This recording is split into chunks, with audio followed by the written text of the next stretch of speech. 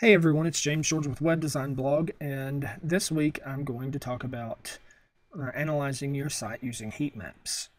If you are interested in where your website visitors are going on your site and what they're interested in and what they are clicking on when they actually visit your site, a heat map tool is one of the best ways to do that because it will show you with heat, like as in um, an infrared or uh, something like that, when um, if you ever saw the Terminator movies or the um, Predator movies where it can see via heat, that's sort of what you're getting via your website.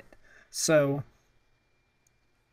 one of the cool things is last week I showed you AppSumo's uh, plugins where you can add like a pop-up form or you could have a bar that you know, hey, subscribe to my newsletter or something like that, or a, a scroll box that comes up to entice people to sign up for your newsletter.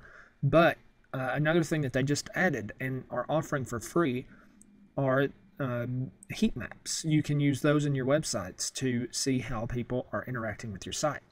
So it's real simple. You just go in and say record my actions or record record users actions and just let it go. And I'll show you this and then I'll show you how to set it up. It's so simple. You'll you won't believe it. So click on this and it will load the heat map. You can see that it recorded 45 clicks since the last time I uh, told it to record. So you could see that the size of the dot tells you, you know, how many clicks or how uh, that it's more active. So people are really clicking on this title here. You know, hate using an iPad stylus. Sometimes they will uh, click on a word that interests them the most. You can see Wacom has two clicks iPad stylus, bulky iPad stylus. You know, those have two, three, four clicks. So these these words are good choices for the title of this article. You get a lot of, of insight for that, and it's uh, what's the main features of GitHub? What's the point of it? Why you know? So it kind of gives you an idea of what people are interested in. Also, people are clicking on the logo because it takes them back to the homepage, and a lot of people apparently like the topic of web design. So they're clicking web design because that's what they're interested in. Notice that none of the other categories have any clicks recorded. So that tells you that people are mainly interested in web design when they come to this website. They're wanting to look at what you have to offer shortcuts, keyboard shortcuts. So people are interested in shortcuts.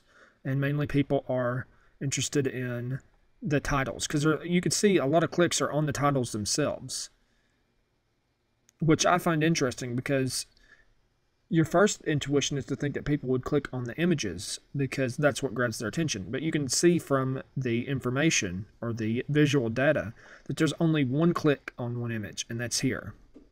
The rest of the clicks are on the title of the article itself, which gets, gives you a lot of insight as to what gets people's attention. So that's why it's so important to focus on the headline of your article on your website.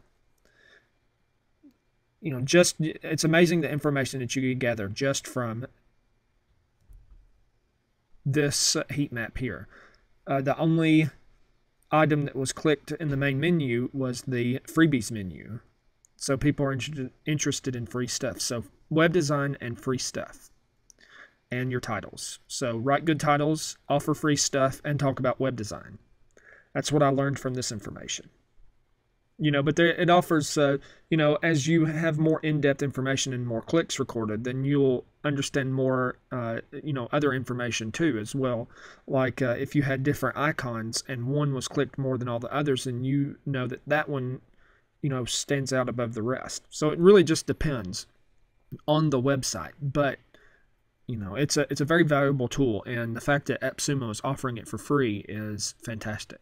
So be sure to go to appsumo.com and check it out or uh, the plugin can be downloaded directly from sumo.me